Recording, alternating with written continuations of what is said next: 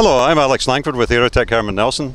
Today I'd like to take a few minutes to introduce you to the ultimate and cutting edge heat technology. This is the HPL 600D7. This is a portable self-contained indirect diesel fired unit, complete with a light tower.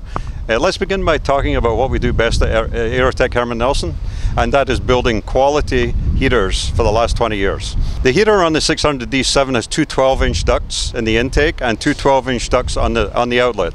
This allows for recirculation of air with dramatic fuel savings. The heater puts out 600,000 BTUs of heat with a 220 degree Fahrenheit heat rise.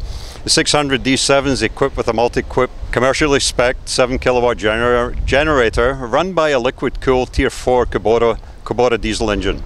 The generator is designed to endure even the most extreme conditions uh, with optimum results.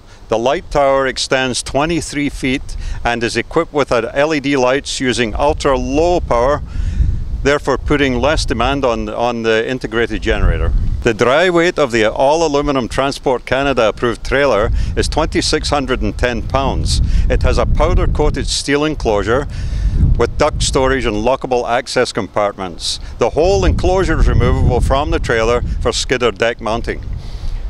There's also an exterior mounted one button emergency shutdown.